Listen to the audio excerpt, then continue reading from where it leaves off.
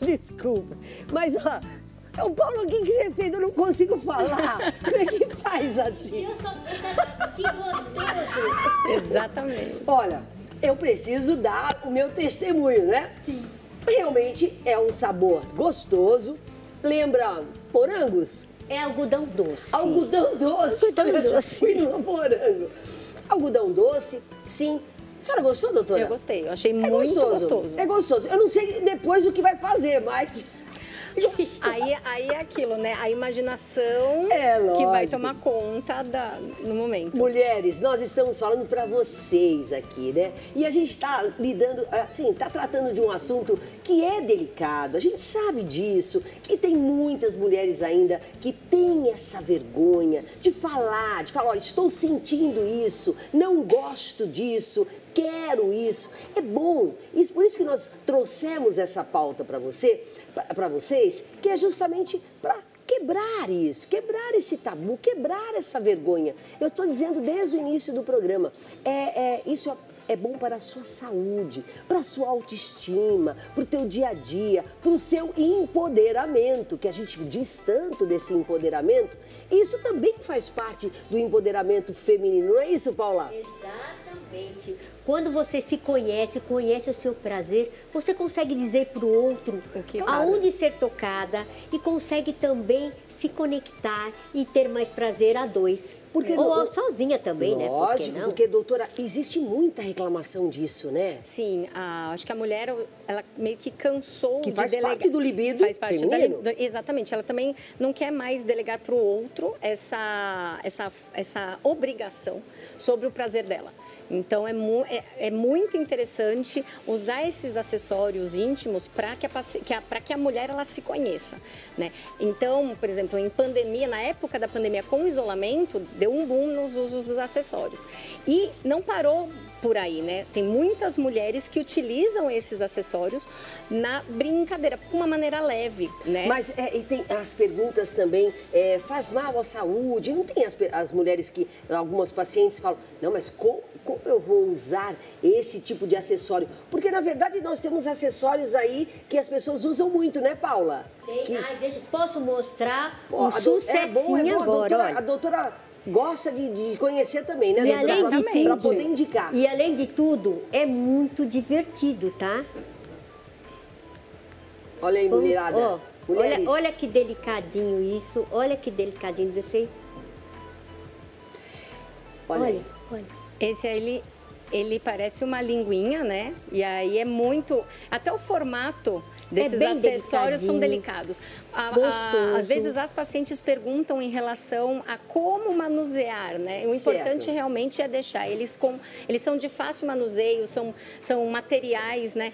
Que não vão trazer nenhum problema à saúde. E, na verdade, tem mulheres que... ah, Nós estamos falando uma coisa muito séria, que é, é um assunto que nunca a pessoa é, abordou, com- nem, na, nem na infância, muito menos na adolescência. Tem mulheres, tem mulheres a- até hoje, né? Sim. A- Até hoje que elas não conhecem sobre eh, esse assunto e não querem falar e, e- e realmente precisam da ginecologista, Sim. pelo menos para poder trocar essa, essas informações, Elas né? precisam se sentir à vontade. Você precisa ter se- esse libido Exata- feminino. Exatamente. Então, assim, como às vezes realmente algumas, algumas mulheres, a grande maioria, não teve esse tipo de conversa de uma maneira leve, ou então até um tabu. Então, ela trazer isso e conversar e ter esse contato. É, é, que nem eu falo, desperta e é, e é normal, é bom, é bom para autoestima, o empoderamento, para autoestima da mulher, é bem, faz bem para saúde feminina mesmo. Então, olha, nós estamos fazendo uma campanha mesmo aqui. Mais mulheres empoderadas, mais mulheres com uma boa autoestima, mais mulheres conhecendo sim esse mercado erótico que faz bem para a sua saúde, que faz bem para o seu dia a dia, para a rotina do casal, né? Para agora no final do ano, essas festas de final de ano. Olha que pre... a doutora deu essa sugestão, viu? Eu gostei. Exatamente. Eu falei assim que agora, por exemplo, você vende esses produtos, você pode aproveitar e já já dá de presente, né? Para o companheiro, para a companheira, para uma amiga que muitas vezes já está claro. numa roda de conversa, falou que está com essa, com essa dificuldade. Até porque uma mulher empoderada não quer guerra com ninguém. Lógico, né? eu sei que alguns homens até podem estar falando, nossa, mas eu estou sendo substituído por, por esses acessórios. O que, que você responde nisso, Paula? Muito pelo, pelo contrário. contrário. Inclusive, existem peças como é. essa que são para casais. O casal brinca junto. E também nada substitui o afeto e o amor. Perfeito. Isto aqui é um acessório. Como você pode usar uma boa lingerie, que é um acessório também para um momento especial. Não tenha dúvida. Então, na verdade, por exemplo, esse acessório casal brinca. Eu brinco com você, você brinca comigo. Certo. Não tem problema nenhum. Perfeito, não tem substituição perfeito. nenhuma. Apenas uma maneira da gente fazer as coisas diferentes. Parar de começar o arroz com feijão. Coisas diferentes. Diferente. Olha, a nossa querida Paula Guiar tem nas redes sociais, ela dá curso também. E ela também dá uma assessoria, dá dicas. Ela tem a rede social, vocês podem acompanhá-la Tá aí, tá aparecendo daqui a pouquinho no ar a sua. Olha lá, tá isso, Paulinha? É essa a sua rede essa social? Essa mesmo a minha rede social. Eu escrevi 26 livros, inclusive um sobre vibrador, outro sobre orgasmo, em que eu conto a minha experiência também, que foi só aos 30 anos, depois de 10 anos de casada, quase. 30 anos? Sim, você, porque você... eu fingia, né? Olha, então, mulheres, mulheres, mulheres, atenção. Você não disse qual é o óleo que você passa nesse colar ah, quando você pode, vai sair com o seu namorado, com o seu marido? Pode de massagem, não uh -huh. tem problema nenhum. Pode ser também esses uh, olhinhos de massagem com silicone, que também é gostoso. Boa. O que, que, é? Eu vou fazer, fazer uma brincadeira aqui. Olá. Olha, Olá, você olá. passa o olhinho e brinca, faz carinho. Pronto, faz pronto. uma coisinha diferente. E brinca com o companheiro e ele brinca com você também, perfeito, com o colarzinho perfeito. de perto. Aí a próxima vez que você quiser alguma coisa dele, bota o colarzinho no pescoço, que acho que ele vai entender, entender né? E se ele não entender, você grite, você fale. Um beijo, querida Paula. Nós, Muito nós vamos obrigada. ter. Ó, depois você fica que nós vamos sentar nessa mesa linda de queijos aí para completar esse assunto gostoso esse assunto romântico também, por que não? Doutora, as suas redes sociais. É, arroba doutora Michele Pena, tá?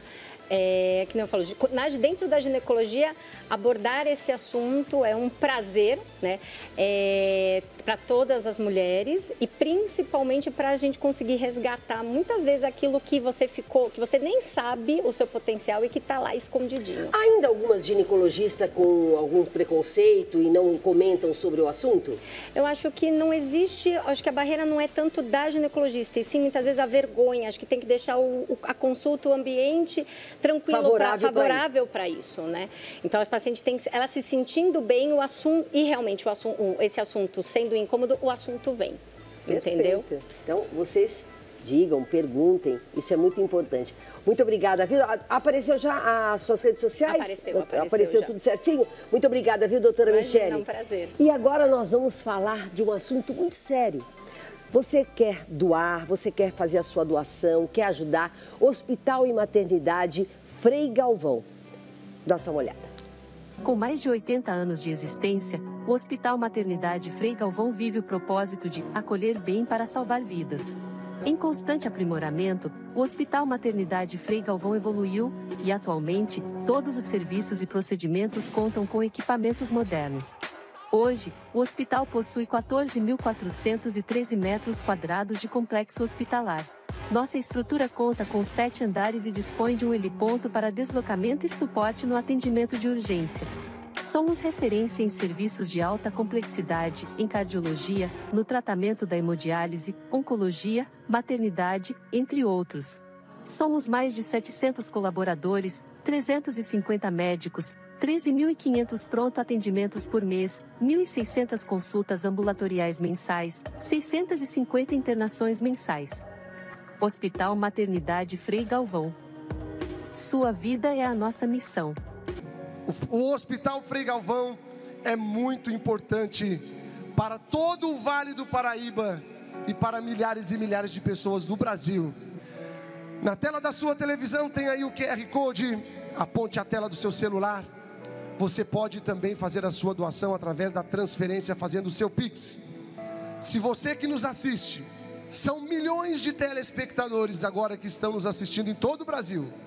se você faz agora o seu Pix, a sua doação, a sua transferência, Deus vai lhe dar tudo em dobro.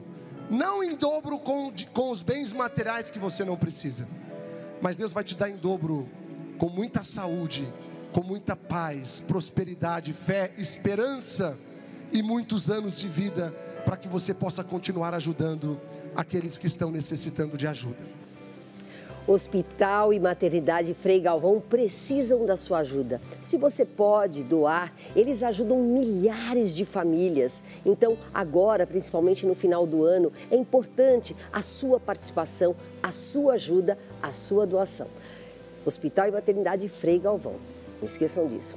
Olha, nós vamos continuar aqui com o nosso assunto gostoso. Foi leve, eu quero agradecer aí a todas as mensagens de carinho da nossa estreia de ontem, onde nós não conseguimos parabenizar o nosso querido diretor Ocimar, que completou 50, jovem, jovem, 52 anos. Parabéns ao nosso diretor querido, a todos e as mensagens de boas-vindas do nosso Mulher 360. E agora também nosso WhatsApp na tela, também muitas pessoas, Paula, doutora Michele, muitas pessoas mandaram perguntas, mandaram parabéns ao nosso, a, nossas, a nossa pauta. É isso, é um assunto que parece complicado, parece é, é todo. A gente tem vergonha, mas é isso. É isso que a gente quer oferecer para você no Mulher 360. Você ficar por dentro dessas e de outras coisas mais interessantes para a sua saúde, para a sua autoestima. E nós estamos com essa linda aqui, que é a Juliana. Ela é uma sommelier em queijo. Posso dizer assim, Juliana? Seja muito bem-vinda, viu? Obrigada, eu que agradeço o convite. Me conta uma coisa. Todos esses queijos são queijos brasileiros, você estuda isso? Isso mesmo. Há seis anos eu trabalho é, fazendo uma curadoria dos melhores queijos desse país. Ah, você, você, você é especialista, então você ajuda nos restaurantes, no, no comércio, né? Como, como uh, ter esse queijo, como harmonizar em determinadas situações, é isso? Isso mesmo. Conta pra gente a tua experiência e, e conta as, as curiosidades desse queijo. Porque esse queijo está parecendo um queijo brie, né? Então, o queijo brie é um queijo caro. Isso. E é um queijo brie? Não, esse queijo ele chama Bucaneve. Ele é produzido no interior de São Paulo. Parecido com o brie? Ele lembra o brie. A gente fala que ele é da mesma família do brie. Os queijos hum. são divididos por famílias. Ah, tá. Então o produtor ele pega aquela família e fala assim: "Eu vou fazer um queijo nessa linha". E aí, por ser o próprio leite, tudo mais, o queijo sempre fica com a característica do produtor. Esse aqui eu separei para vocês. É. Pra você ver que delícia que é quando a gente corta ele. Eu adoro queijo. E olha, você sabe de uma coisa? A, a, a profissão queijista é uma profissão nova, não é tão, tão antiga no mercado. Você estava me falando dois anos, né? Não é, ela não é queijeira. Ah, sim. Não é queijeira, né? Isso. É queijista. O queijeiro é quem produz e vende o queijo. Certo. O queijista, ele é o profissional especializado em queijo. Então a gente serve tanto para fazer consultorias, como ter comércio para venda de queijo, uhum. ajudar também nossos clientes a fazer harmonizações com bebidas, saber como servir, dar dicas, né? Então, às vezes meus clientes me mandam assim, Ju, eu vou fazer um, um evento para seis pessoas, me dá dicas de quantos queijos eu compro, quais as... Ah, até as quantidades Isso. também. Agora, você falou desse queijo brie que me, que me interessa muito, porque eu faço muitas receitas com queijo brie dentro de massa folhada, viu, doutora e Paula? Qualquer dia a gente vai se encontrar, vamos fazer essas receitas com muito, é muito gostoso. Mas eu posso substituir, eu tô gostando disso. Isso, porque o brie, na verdade, ele é um queijo de brie na França. Ah, tá. Então o brie original vai ser só o feito lá. Aqui no Brasil a gente tem os queijos autorais. Então vamos lá. Vamos demonstrar esse queijo. Você vê que a faquinha também é todo, é todo um detalhe. Não vai pegar uma faca qualquer, certo, Paulinha? Você tem que ter todo um detalhe. Olha a cremosidade desse queijo. Olha cá a faca também. Aqui. Ele é super cremoso. Ah, tá. E a casca? A casca desses queijos? As cascas de queijos, nós podemos comer essas cascas? Pode comer a casca. Pode? Pode. Essa casca, ela tem a função de deixar o queijo cremoso e gostoso. Então, se não tivesse a casca, ele não ia ter essa textura tão bonita, tão vistosa, né? E agora me fala uma coisa, tem queijo sem lactose? Tem queijo sem lactose. Queijo, a lactose ela é o açúcar do leite e ela é consumida pela fermentação. Então, queijos de longa maturação, eles já são considerados sem lactose. Por exemplo, eu não gosto muito de tomar vinho. Tem pessoas que não podem ter de, comer, de tomar bebida alcoólica. Eu quero harmonizar um queijo com um cafezinho. Que é, que é um horário gostoso agora da tarde. Como é que eu faço? Qual é, qual, qual é o queijo que você, que você sempre indica? É muito possível. E eu falo que a harmonização clássica do brasileiro é o café com vinho. Quer dizer, café com queijo. Café com queijo. Ah. Então, o que nasce junto vai bem junto. Um queijo Minas artesanal com café arábica, passado hum. na hora, fica maravilhoso. Ai, eu quero. Gostoso, é gostoso sim. E um café com cerveja? O queijo com cerveja? É, o, que... o, queijo com a cerveja. Café com cerveja também Calma, é bom, né? Você vai falar, você vai falar daqui a pouquinho, porque nós vamos para um breve intervalo. Já voltamos para você que gosta daquela cervejinha. Aqui o pessoal adora aquela cervejinha com um queijo que a nossa querida Juliana vai indicar. Daqui a pouquinho eu volto, não saia daí. Que delícia!